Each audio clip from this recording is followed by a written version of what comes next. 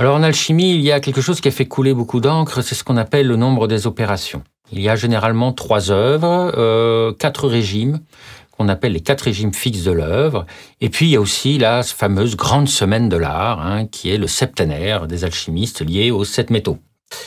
Alors, comme je l'ai vu, on en a parlé déjà dans l'autre euh, vidéo. J'ai parlé justement de ces fameuses sept couleurs, hein, ou plutôt les sept régimes du feu secret des sages, qui sont très importants. Et si on en croit Fulcanelli, il est très important qu'il nous parle justement qu'une des bases, le fondement de l'œuvre est justement le secretum secretorum, ce qu'on appelle les sept opérations, qu'on appelle l'artifice secret.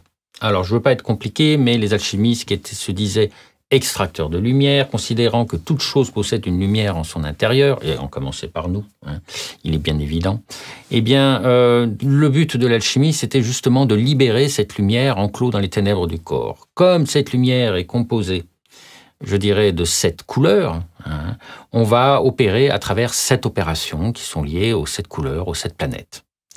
Voilà, alors c'est l'acquisition des vertus, etc. Cet artifice secret a pour but de quoi? De passer ce que l'on appelle du premier mercure en alchimie, représenté par le serpent, qui est une espèce d'onde vive et qui est chez l'homme, on l'appelle l'eau vive, hein, l'eau des sages. Cette première matière ou cette première euh, eau, EAU, qui sort, cette eau vive, est représentée par justement chez nous la vitalité biologique, impulsive, animale que l'on peut avoir avec l'instinct de survie, l'instinct de reproduction, etc., euh, qui nous pousse des fois à avoir cet instinct animal. Cette vitalité biologique est bien pour les alchimistes qu'on représente par le serpent. Mais par un artifice secret, l'alchimiste va essayer de faire voler les aigles, c'est ce qu'on appelle l'artifice secret. Par cette sublimation, alors on va voir que par exemple les sept couleurs qui sont liées aux sept planètes, qui sont liées aux sept péchés capitaux par exemple, parce que les, sept métaux sont de la lumière des astres déchus, eh bien qu'on va essayer par sublimation extraire la vertu des défauts, hein, c'est-à-dire la violence va donner la force, etc., eh bien nous allons petit à petit élaborer ce qu'on appelle le mercure philosophique, qui est représenté par l'aigle, par la colombe, par l'ange ou par l'étoile.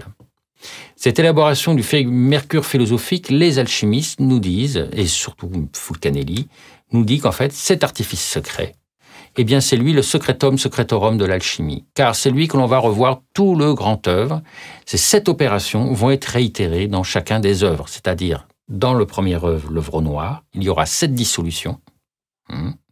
Ensuite, nous avons dans euh, le second œuvre qu'on appelle l'œuvre blanc, les sept sublimations, Hein. Et ensuite, dans le troisième œuvre, on va dire le mariage de ces, de ces deux forces, qu'on va appeler les sept coagulations quelque part. Et donc, dans ce mariage des trois fois sept, nous obtenons les 21 opérations. Donc, nous avons deux choses qui sont secrètes en alchimie, à savoir la première matière qui n'est jamais nommée, qu'on appelle juste le mercure, allégoriquement, qu'on représente par le mercure, et les alchimistes l'appellent le pèlerin, le fou, le pèlerin du grand œuvre, à cause de son extrême volatilité, et c'est ça qui est important.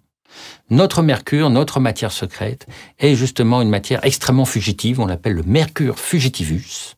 C'est lui que l'on doit sublimer, que l'on doit finir par fixer. Eh bien, cette première matière n'est jamais nommée. C'est elle qu'on va retrouver à travers l'arcane du fameux mat, qui est représenté par un pèlerin, et qui est le fou, le pèlerin du grand œuvre. C'est la matière secrète, c'est l'arcane sans nombre. Et puis nous avons les sept opérations réitérées dans les trois œuvres, 3 x 7, 21. Voilà le secret, le septénaire, ce fameux artifice secret réitéré dans les trois œuvres, 3 fois 7, 21, ce que euh, Fulcanelli nous mentionne que Flamel justement avait un livre qu'il appelait Secret, le livre d'Abraham le Juif, fait de 21 feuillets. Ce sont les 21 opérations, c'est-à-dire les sept opérations réitérées dans chaque œuvre, dans l'œuvre noire, l'œuvre blanc, l'œuvre rouge.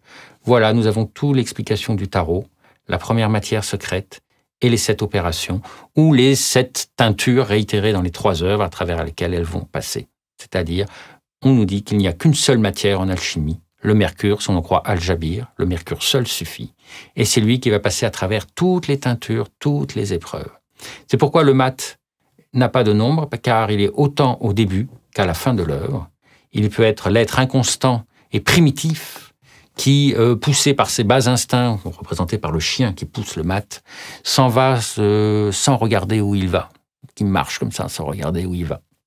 Mais il peut aussi représenter à la fin de l'œuvre l'initié, accompli, qui est libre de toute entrave, peut marcher avec la pure foi en regardant le ciel, la pure foi en la connaissance divine. C'est ça, justement, l'être libéré de ses entraves après avoir passé les 21 épreuves, les 3 fois 7 épreuves, qui sera l'initié affranchi. Voilà où est toute la quête alchimique représentée par ce remarquable jeu du tarot, jeu initiatique, qui nous représente les mystères, justement, de l'art des transmutations. Il est intéressant, juste avant de terminer, de dire que des fois, ce Mercure, on le représente par le caméléon, signifiant lion rampant. Et ce caméléon, justement, est ainsi représenté car c'est cette unique matière qui va passer, qui va prendre toutes les teintures de l'œuvre. Comme le caméléon qui prend la couleur de l'endroit où on le pose. Vous mettez un caméléon sur une couverture rouge, il est rouge, une couverture jaune. Eh bien, c'est ça. Une seule et unique matière qui va passer toutes les 21 opérations.